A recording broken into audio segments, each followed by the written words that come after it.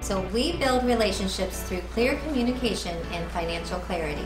At Great Big Smiles, we showcase clear communication by explaining everything to the patient prior to anything taking place. We also update our patients via emails, social media, and newsletters. We practice financial clarity by being transparent and giving our patients all of the financial information they need before making a decision on getting a great big smile.